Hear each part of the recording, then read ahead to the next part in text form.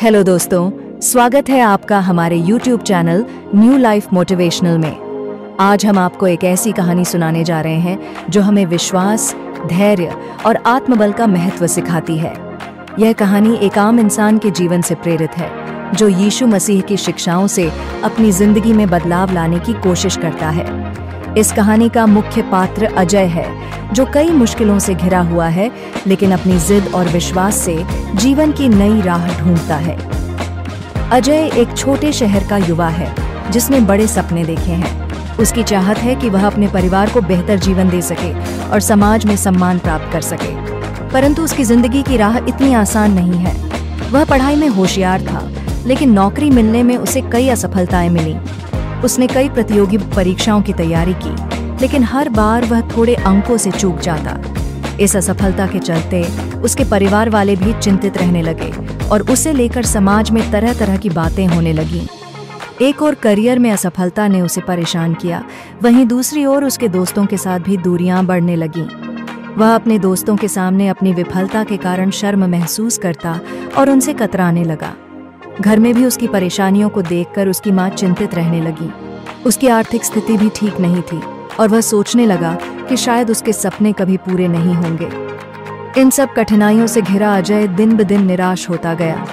उसने कई बार हार मानने का सोचा, लेकिन अंदर कहीं ना कहीं उसे लगता था कि शायद कोई रास्ता है जिससे वह बाहर आ सकता है।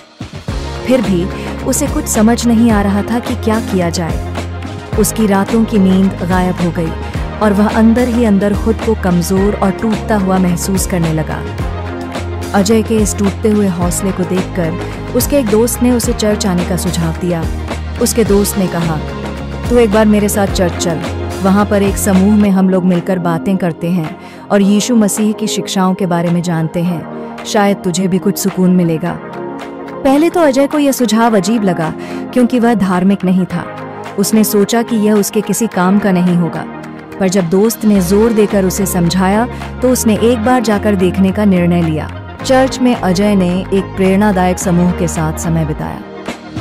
वहाँ पर लोग अपनी अपनी ज़िंदगी की समस्याएँ साझा करते और एक दूसरे को प्रेरित करते। उस दिन एक बुज़ुर्ग व्यक्ति, जो समूह का नेतृत्व कर रहा था, यीशु मसीह की एक कहानी सुनाने लगे।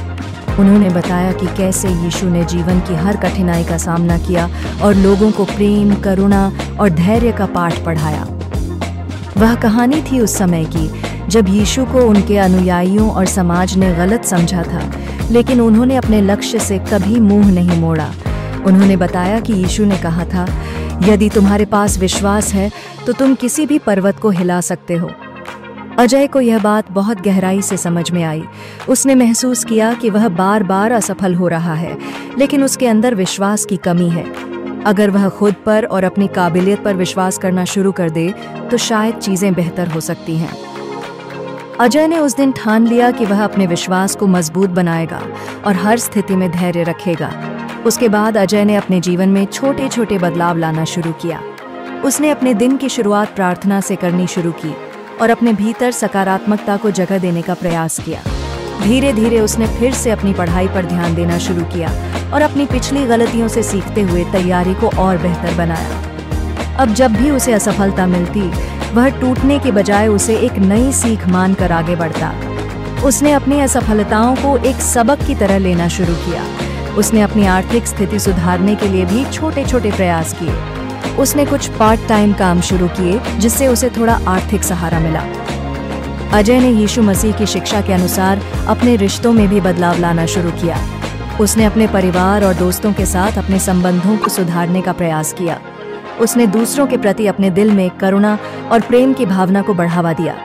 वह अब अपने दोस्तों से मिलने में झिझकता नहीं था, बल्कि उनके साथ अपने अनुभव और विचार साझा करता था।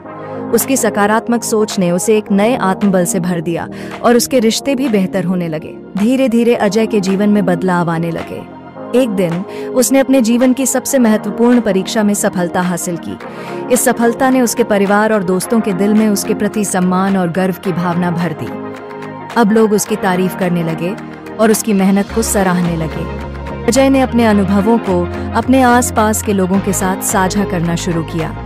उसने चर्च के समूह में वापस जाकर अपने बदलाव की कहानी सुनाई और बताया कि कैसे यीशु मसीह की शिक्षाओं ने उसे एक नई दिशा दिखाई। उसकी इस कहानी ने कई अन्य लोगों को प्रेरित किया, जो खुद भी संघर्ष कर रहे थे। अजय की यह कहानी हमें सिखाती है कि जीवन में चाहे कितनी भी कठिनाइयाँ आए, अगर हमारे पास विश्वास, धैर्य और करुणा है तो हम किसी भी बाधा को पार कर सकते हैं।